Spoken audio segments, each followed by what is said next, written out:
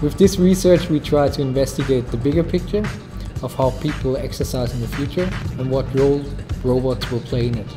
People enjoy jogging together, but a lot of people they, they just don't have anyone who jogs with them or they just start off jogging and they need someone to run at their pace. So maybe it's it's good for them to have this embodied system of Joggobot that motivates them.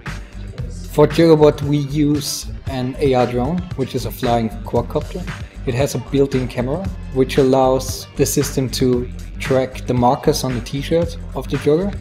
As soon as Joggobot sees the jogger with the markers on the t-shirt, it starts going up.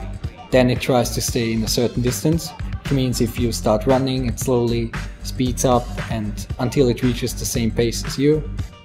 And as soon as it doesn't recognize any markers anymore, it just goes down safely.